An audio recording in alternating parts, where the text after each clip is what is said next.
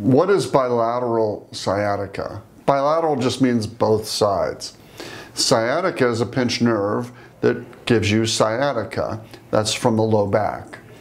So any one of the spinal nerves comes together to form the sciatic nerve. So you could have a herniated disc or stenosis or arthritic degeneration, pretty much at any level of the spine, pinching a nerve, giving you sciatica.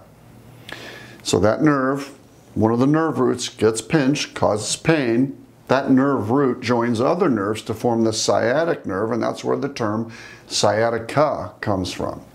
But if you have it on both sides, it's bilateral sciatica. Most people just get it on one side first.